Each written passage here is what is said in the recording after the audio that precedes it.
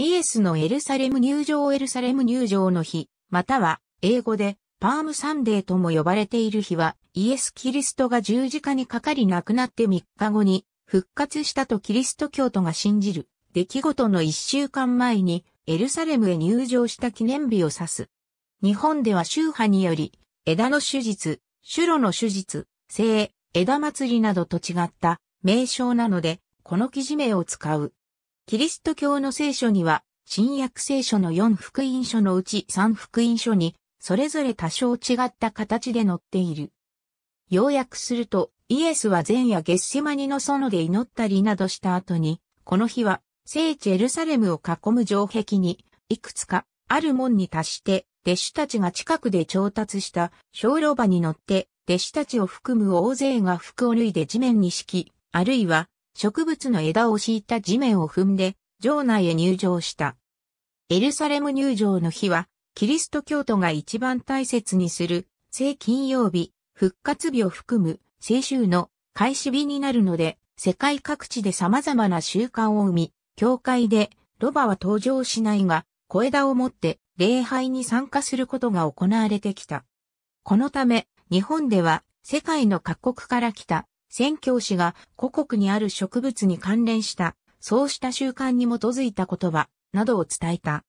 このため、日本ではエルサレム入場の日の名称が宗派により呼び方が違うが、現在どういった植物を使うか、使った習慣があったかは大切ではあるが、最重要ではない。イエスの入場。夏目ヤシが描かれている。夏目ヤシ聖法協会のカトリックでは、枝の手術という言葉が日本では定着した。キリスト教の移動祝日で復活祭の一週間前の日曜日にあたる。聖週間の初日となる。枝の手術はルーテル教会での呼び名であるが、聖教会でもこの名称を用いることがある。教派によって呼び方が異なる。聖教会での聖、枝祭り、プロテスタントでの主路の手術に相当する。日本聖公会では復活前手術に同様の記念がなされており、これを主路の手術と呼ぶこともある。復活祭に連動して日付が決まるため、復活祭の日付の計算方法が異なる東方教会と西方教会の間で日付が異なることもあれば、同日になることもある。西方教会では、グレゴリオ歴3月中旬から4月中旬に来ることとなる。東方教会のうち、エパクト計算上ユリウス歴を用いる諸教会では、グレゴリオ歴にすると、西方教会より約1ヶ月遅れる場合があって、3月末から5月上旬となる。この祝日は、イエス・キリストがロバにまたがり、エルサレムに入場した時を記念するものである。ヨハネ福音書では、エルサレムに来たイエスを、群衆が、夏目足の枝を手に持ち、ホサナ、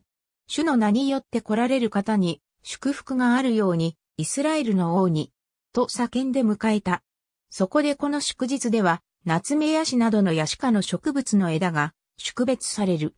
しかし、キリスト教会は、夏目ヤシの生育地をはるかに超えて、世界的に広がっているため、地方ごとにふさわしいとされる様々な樹種の枝葉が用いられている。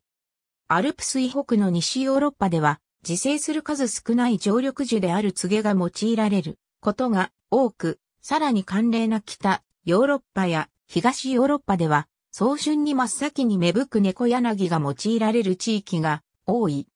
日本でも温暖な西南日本のカトリック教会では、葉の形状が夏目ヤシと似ており、かつよく生育するソテツの葉を用いるところが多い。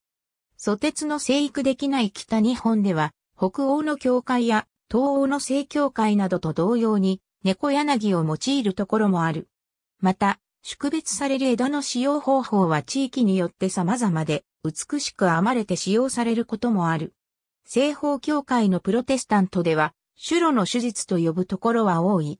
日本聖公会の聖公会祈祷書では、該当する手術について、主路の手術ではなく、復活前手術と記載されている。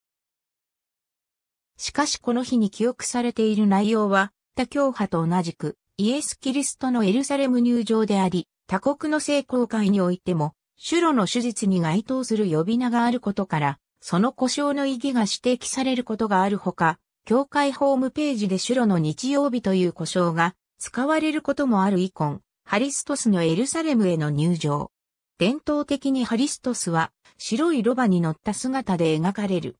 東方教会でも、聖枝祭りはイエス・キリストのエルサレム入場を記念する聖教会の祭日であり、十二大祭りの一つである。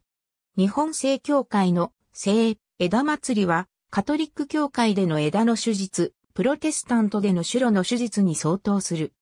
ただし本祭日は、移動祭日であることと、聖教会と両教派とでは、教会歴が異なることから、日付は年によって同日であることもあれば異なる日にちである場合もある。受難週間の初日で、大時最終日であるラザリのスボタの翌日の日曜日に祝われる。この日は復活大祭の一週間前の日曜日に相当し、復活祭同様、聖田祭りも移動祝日となる。3月下旬から5月上旬に祝われる。聖枝祭りのイコンには、ロバに乗ったイエスとそれに従う弟子たち、エルサレムの城とイエスを迎える群衆が描かれる。花を持って聖枝祭りの鉄や塔にあたる聖教会の新品たち。司祭たちはフェロンとエピタラヒリを着用し、タスク祭はステハリとオラリを着用している。修道司祭は黒ブークをかぶり、最大司祭はカミラフカをかぶっている。左手奥側にはミトラをかぶった司祭がいる。信者が枝を用意し、司祭がそれを早かで聖気をしし、聖、枝祭りの早か、生体礼儀には、信者がこの枝を手に参等する。これはヨハネによる福音書の記述に則っった習慣である。枝は当時、外戦者を歓喜して迎える印であった。イエスを迎えたエルサレムの群衆は枝を持って王を迎えるのと同じような仕方でイエスを迎えたが、群衆の多くは自分たちをローマの支配から解放して新しいユダヤの王国を築くためにイエスが来たのだと誤解していた。聖教徒はこのような誤解に乗っ取るのではなく、死に対して勝利して凱旋する王として、自分の中に受け入れることを示すために、枝や花を持って聖、枝祭りを祝う。地域によっては枝を手にしての十事業が行われる。枝はオリーブ、夏目ヤシ、または、シュロが好まれるが、何を用いるという規定は特にない。花をつけた枝を用いる場合もある。ロシア正教会など寒冷な地では猫柳などを用いる。日本正教会でも地域によって猫柳が使われる。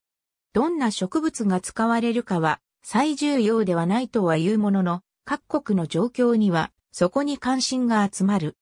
イタリアでは地中海の環境で修路が育つので、その葉とオリーブの枝を組み合わせて家々の戸口に飾り、これを一年中飾ることも行われる。様々に飾った棒を立てて競うポーランドでは、シュロは育たないので、ある地方では人工のシュロと称して、綺麗な色で飾った棒を立てて競争する。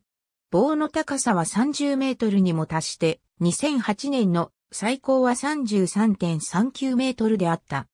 ロシアでは、シュロやナツメヤシが育つ環境にないのと、3月4月は冬が明けていないので、一番先に芽を出す。猫柳の枝で代用する。ありがとうございます。